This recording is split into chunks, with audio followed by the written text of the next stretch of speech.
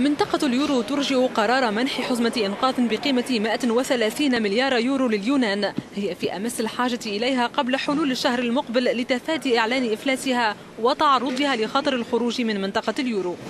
وزراء مالية المنطقة برروا ذلك بأن اليونان فشلت في توضيح آليات سد العجز في ميزانيتها للعام الجاري ومقداره 325 مليون يورو وفي إقناع زعماء جميع الأحزاب بتوقيع تعهد لتنفيذ إجراءات تقشف تطلبها الجهات المانحة.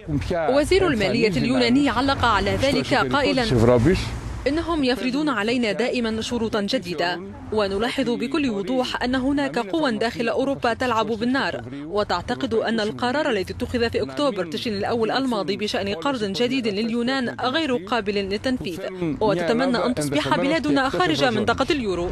وكان من المقرر أن يلتقي وزراء مالية منطقة اليورو في بروكسل للموافقة على خطة إنقاذ اليونان. لكنهم سرعان ما ألغوا اجتماعهم هذا بعد أن أكد رئيس مجموعة اليورو group جون كلود يونكر أنه لا تزال هناك ملفات عالقة بين اليونان والجهات المانحة.